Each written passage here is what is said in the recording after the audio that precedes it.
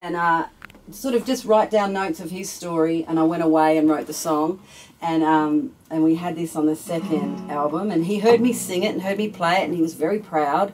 Um, and then uh, this last round of writing I did just a couple of months ago, um, the day before I arrived, um, Dudley passed away at the age of 99.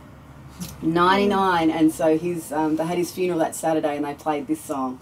Um, and everyone was um, well, was grateful to have it. I mean it's wonderful that he shared his story but it's a long way home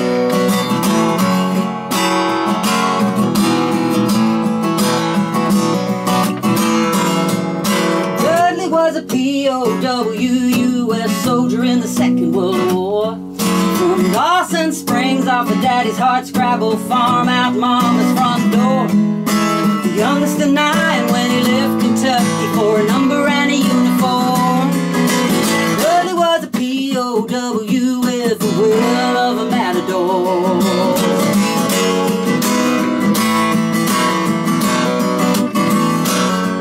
In 1940, he trained two years in Fort Knox. He was 18 then.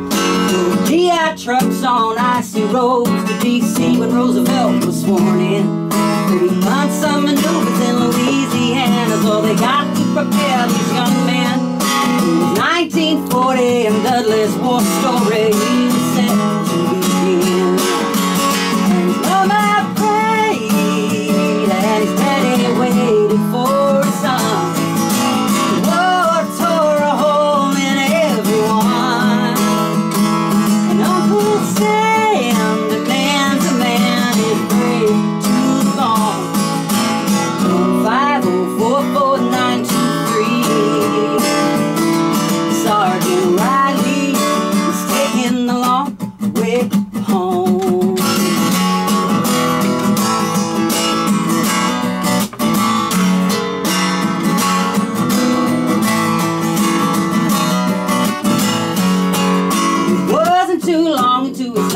service, and Dudley's fate took a twist.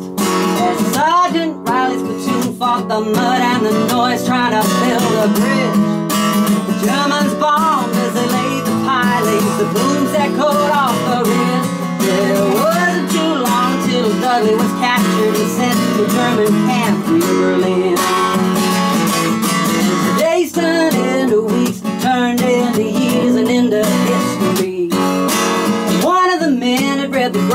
Escape, so a plan was made to be free. They smuggled the sand from under the floorboards in their pockets secretly. As the days turned into years for a lost son's heartbroken family.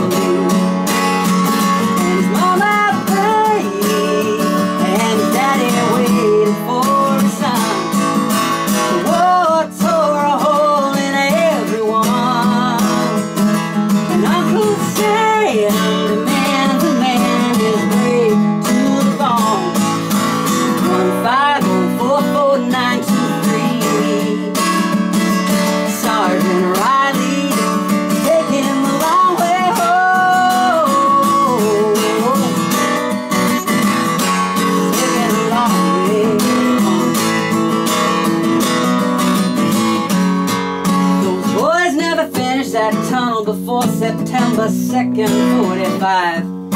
The Russians freed the American soldiers, skin and bones and barely alive. To walk six days through the freezing snow with their freedom and a will to survive. Those boys never finished that tunnel, but bet the Germans found quite a surprise. His folks never heard the train pull in the station that fateful day. Footsteps all six miles down that old dirt road they headed their way. It was two whole years since they got word that Dudley was MIA. His folks hardly recognized their son as he walked through that old farm